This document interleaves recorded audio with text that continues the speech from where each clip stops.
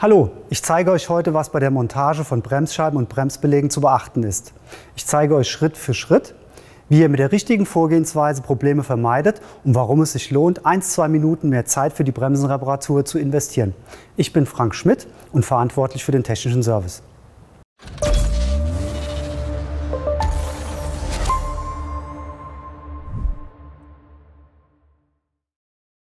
So, was ist bei der Reparatur einer Scheibenbremse zu beachten?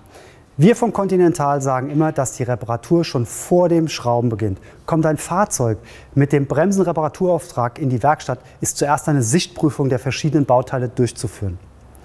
Durch eine erste Sichtprüfung der Bremsbeläge und der Bremsscheiben kann schon vor der Reparatur ein Eindruck über den Zustand der Bremsanlage gewonnen werden.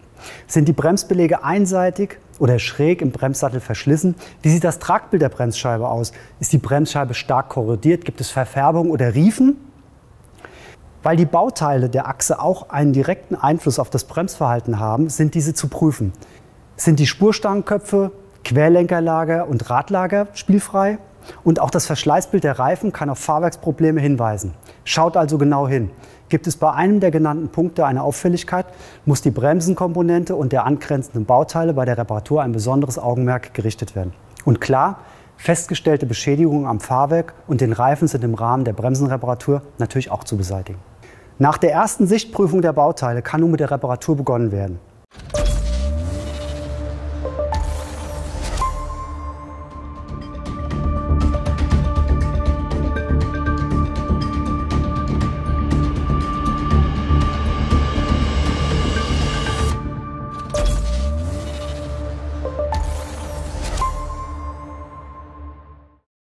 Schauen wir uns also an, was bei der Reparatur einer Bremsscheibenanlage wichtig ist.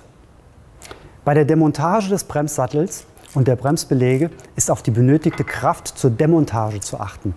Ist der Bremssattel schwer zu entfernen? Ist der Sattel leichtgängig zu verschieben? Sind die Bremsbeläge in den Führungen festgerostet? Wenn ja, sind die Führungen vor dem Einbau neuer Bremsbeläge gründlich zu reinigen. Wenn die Bremsbeläge verschlissen sind, empfehlen wir grundsätzlich auch den Austausch der Bremsscheibe.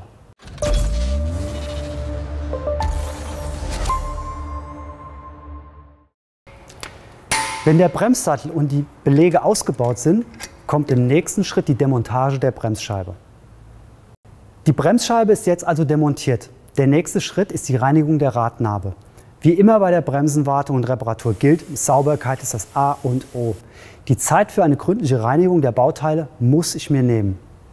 Bei der Reinigung der Radnabe denkt bitte auch immer daran, die Zentrierung für die Aufnahme der Felge zu reinigen. Wenn die Radnabe sauber und metallisch blank ist, kann ich sie mit einem Haarlineal auf Planheit prüfen. Und auch der Seitenschlag der Radnabe ist zu messen. Der Seitenschlag sollte nahe Null sein und darf 100 mm nicht überschreiten. Noch ein wichtiger Hinweis, die Radnabe darf nicht gefettet werden. Macht das bitte nicht falsch. Dünn aufgetragenes Sprühöl ist als Korrosionsschutz aber zulässig.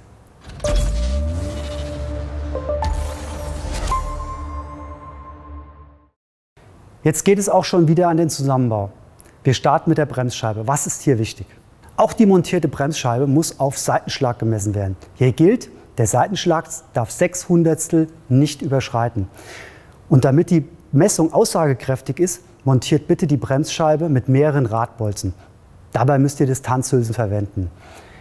Wird hier der maximal zulässige Seitenschlag von 6 Hundertstel überschritten, müsst ihr die Ursache suchen und beheben. Eine zweimalige Vermessung verhindert übrigens, dass sich im Nachhinein Probleme durch Auswaschungen an der Bremsscheibe ergeben und Bremsenrubbeln auftritt.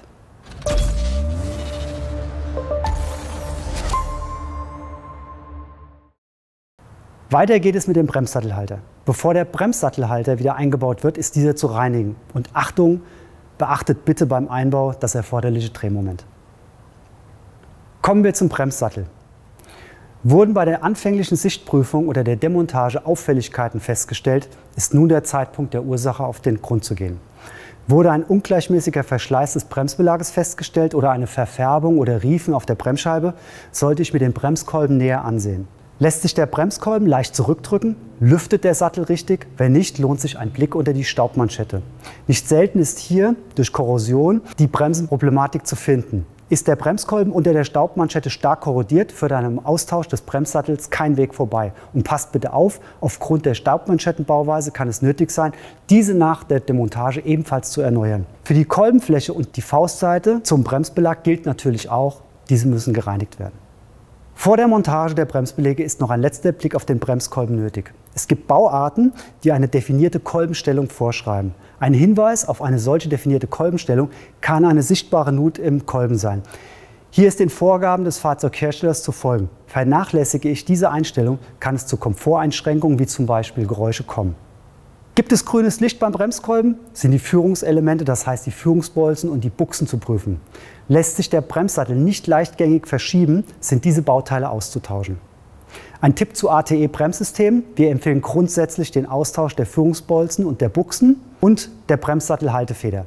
Das gilt vor allem für Fahrzeuge mit höherer Laufleistung ab 100.000 Kilometer. Jetzt noch ein Profi-Tipp. Mit dem ATE Bremssattel Reparaturkoffer habt ihr die passenden Führungsbolzen und Buchsen sofort zur Hand. Ganz wichtig, die Führungsbolzen dürfen bei der Montage des Bremssattels bei diesem System, also dem ATE-System, nicht befettet werden. Die Führungsbuchsen sind nämlich aus gleitfähigem Gummimaterial. Nächster Schritt, die Bremsbeläge. Beim Bremsbelag ist auf die Bauform zu achten. Ist der Bremsbelag laufrichtungsgebunden? Wie sieht die Rückenplatte aus? Ist diese blank, gummiert, strukturiert, mit einer Klebefolie versehen?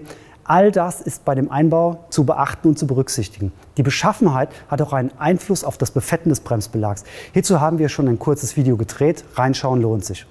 Grundsätzlich gilt aber, metallische Oberflächen wie die blanke Rückenplatte und die Führung sind mit einem geeigneten Schmiermittel wie zum Beispiel Plastilube zu befetten. Und bitte, am Zubehör sollte bei keiner Bremsenreparatur gespart werden. Führungsbleche oder montierbare Geräuschdämmbleche für die Rückenplatte unterliegen auch einem Verschleiß und sollten entsprechend mitgetauscht werden. Wurden nun alle Punkte beachtet, kann der Bremssattel montiert werden. Auch hier gilt wieder Drehmomente beachten.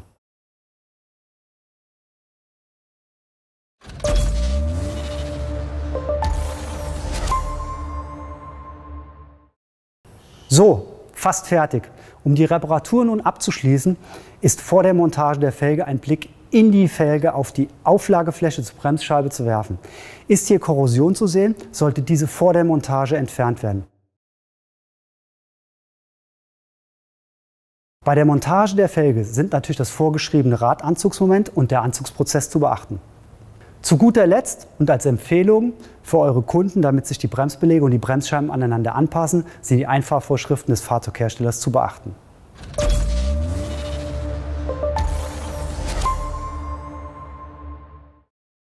So sieht also eine einwandfreie Reparatur einer Scheibenbremse aus. Eine ganze Menge, was man beachten muss.